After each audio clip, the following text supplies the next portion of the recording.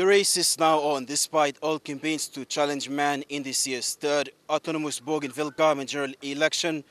Bougainville women decided to leave the presidential seat to the man as a close-up nomination on Wednesday.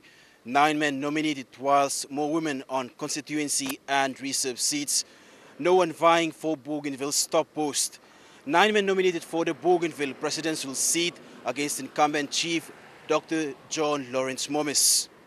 Nine presidential candidates are Nick Peniai, Justin Pokata Kira, Sam Kauona, Peter Nerau, former national parliamentarian Sam Koitai, Catholic priest Father Simon Domarino, Chief Dr. John Lawrence Momis, former BRA General Ishmael Toroama, and lawyer Ruben Sierra.